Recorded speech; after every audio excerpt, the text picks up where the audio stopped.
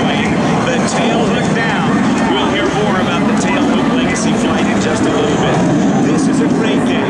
I do want to let you all know that this is the kind of day that if you're not accustomed to it, and even if you are accustomed to it, make sure you're putting on plenty of sunscreen today.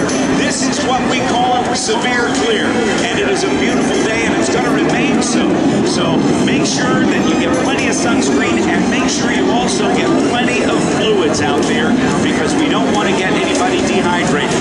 so. No smoking on the ramp.